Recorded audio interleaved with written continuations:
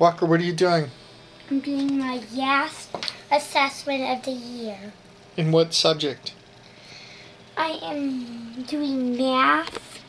This is a math assessment, a real assessment, and it's the 25th assessment of the whole entire year. And this is the YAS, um, YASN, because this is a, a, a YASN too. What date is it? The date is May 23rd, 2007. Excellent. Okay, good luck. And uh, and the day of the week is Wednesday. Okay, good luck, Walker.